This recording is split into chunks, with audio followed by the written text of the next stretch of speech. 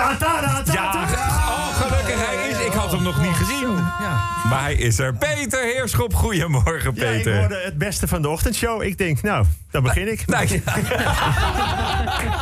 Lieve Marianne, maandag 1 juni. Het was de dag van de nieuwe versoepelingen. Nou, dat merkte ik niet bij het vanmorgen uit bed komen. Maar dat had te maken met het vast vieren van de versoepelingen de avond ervoor met twee vrienden. Maar als je de flessen wijn achter elkaar legt van gisteravond, kom je wel keurig op anderhalve meter. De inpakkunstenaar Christo is overleden. Nou, dan is het logisch hoe die begraven wordt. Ook textielbaron Jan Zeeman is overleden. Hij was de oprichter van Zeeman. Zijn vermogen wordt geschat op 800 miljoen. Daar kon je bij hem 600 miljoen t-shirts verkopen. Voor zijn begrafenis had iemand hem daarin willen verpakken. Maar ja, Christo was net daarvoor overleden. Waterbedrijven hebben opgeroepen om minder water te gebruiken komende dagen. Er dreigt een tekort. Verzoek om de komende dagen niet te sproeien, geen opblaaszwembaden te vullen of emmers water over sidekicks te gooien. Vooral opblaaszwembaden zijn waterslurpers. Veel bewoners van bijvoorbeeld Wassenaar hebben een compleet 50 meter opblaaswedstrijdbad in de tuin. En dat tikt aan. Maar ik ben geen weerman. Ik denk dat het eind van de week wel los gaat lopen met het water. Veelvuldig wereldkampioen Formule 1 Lewis Hamilton ergert zich eraan dat andere rijders helemaal niets hebben gezegd over de dood van George Floyd. Zwarte man die vorige week om het leven kwam door belachelijk hard ingrijpen van een witte politieman. Lewis Hamilton vindt terecht dat grote sportmensen zich nu moeten uitspreken tegen racisme. Zelf is Hamilton een zoon van een zwarte vader. En Hamilton wordt tijdens Formule 1 races nog regelmatig aangehouden door de politie. omdat hij voor een zwarte man in een veel te dure Mercedes rijdt.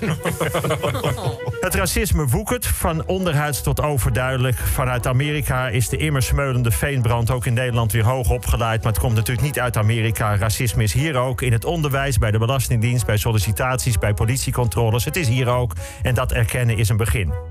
Dinsdag 2 juni vanaf vandaag kon iedereen met coronaklachten bellen met de GGD voor een afspraak. Dat hebben gelijk 325.000 mensen gedaan op één dag. Ik herhaal, 325.000.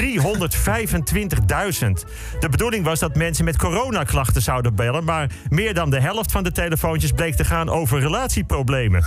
Ja, zeiden de bellers dan, we zitten de hele tijd met elkaar door die lockdown. Nou, dat noem ik coronaklachten.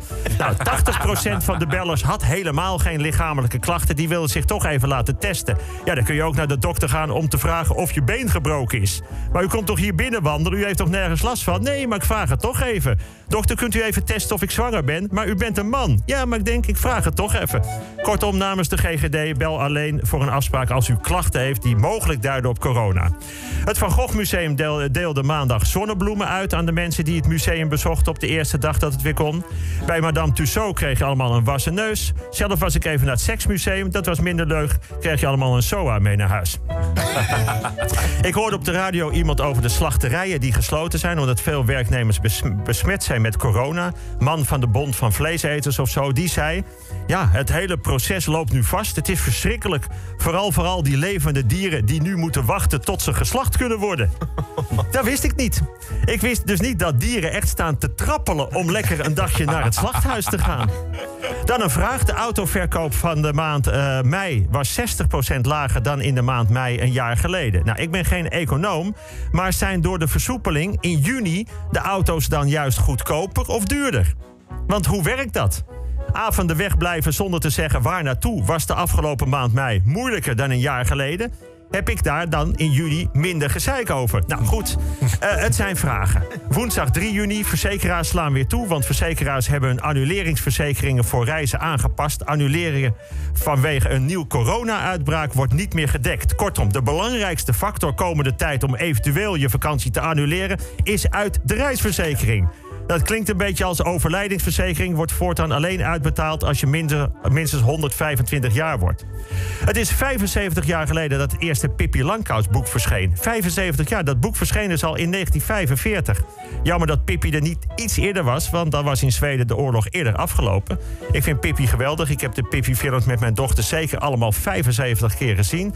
Bekendste uitspraak van Pippi is toch wel... Ik heb het nog nooit gedaan, dus ik denk wel dat ik het kan. Een uitspraak die burgemeester Halsema ook deed vlak voor de demonstratie deze week. Ja, het had natuurlijk anders gemoeten, die idee natuurlijk. Maar de berg stront en de bakken haat die Halsema gelijk over zich heen kreeg... was puur als afrekening met de persoon of voor eigen politiek gewin en totaal belachelijk. En het is net zo belachelijk als de stront en de haat die iemand als Umberto over zich heen kreeg als hij zich uitspreekt over racisme. Waar is het nieuwe normaal? Donderdag 5 juni de Zweden hadden deze coronacrisis de meeste losse aanpak van het probleem. Daar werd premier Anders Tegnell uitgebreid voor geprezen. Maar wat blijkt, het was toch niet zo'n goede aanpak. Want het aantal overleden mensen in Zweden is tien keer hoger dan in alle andere Scandinavische landen. De IKEA had dan ook de handen vol aan de extra productie van de Billy begrafeniskist. Vrijdag 5 juni. Ik weet toevallig heel veel van de natuur. Of toevallig, nee, ik weet gewoon heel erg veel van de natuur. En ik ben echt een natuurmens. Nou, maakt ook niet uit, maar ik vertel het toch even. Ik liep deze week met mijn vrouw langs een brede sloot bij ons in de buurt. En ik zag dat de karpers weer aan het rijden waren. Dus ik zeg tegen haar. Daar heb ik vandaag ook enorm veel zin in. Dus ze duwt me zo in de sloot en zegt: Ga je gang, daar zwemt een grote. Ten slotte, Mark de Hond is dood. Mijn collega in een rolstoel was altijd positief, ging altijd lachend door. Meest opvallend vond ik als ik hem sprak zijn ontwapende zelfspot. Zijn helderheid, zijn weerbaarheid, hoe dan ook. Toch weer die kanker die toeslaat. Je zou haast vergeten in een tijd van corona. Kanker. Zelf zei, zei Mark ooit: Als ik doodga van de kanker, dan heeft kanker niet gewonnen. Want als ik er niet meer ben, is de kanker er ook niet. Dus het is op zijn minst gelijk spel. Dat was Mark. Ik ben trouwens helemaal niet met hem eens. Het is wel degelijk verlies. Hij heeft heel onterecht verloren. Maar hij was wel de man van de wedstrijd. Dat wel, ik herhaal, Mark de Hond is de man van de wedstrijd.